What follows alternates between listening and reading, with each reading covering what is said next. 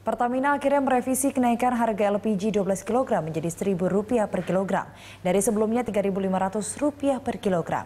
Harga baru itu mulai berlaku sejak Selasa 7 Januari pukul 00 waktu Indonesia Barat. Dengan kenaikan Rp1.000 per kilo berarti harga LPG 12 kilo naik Rp12.000.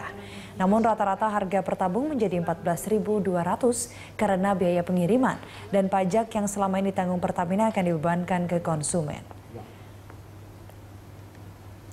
Mulai besok harga LPG 12 kilo per tabung akan berkisar antara Rp89.000 hingga Rp120.000 tergantung biaya pengiriman sesuai lokasi tiap-tiap daerah.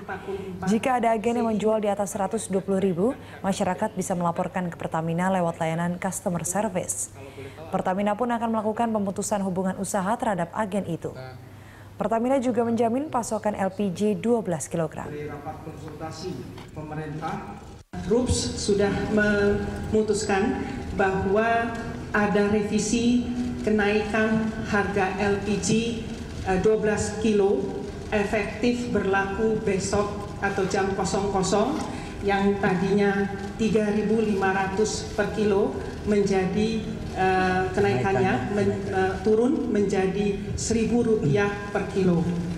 Nah, dari yang harga lama Rp4.944 per kilo menjadi harga naik yang baru efektif besok pagi Rp5.944 sehingga harga di konsumen 12 kilo yang tadinya 78.100 menjadi 91.600 sehingga kenaikannya adalah sebesar 17,3 persen.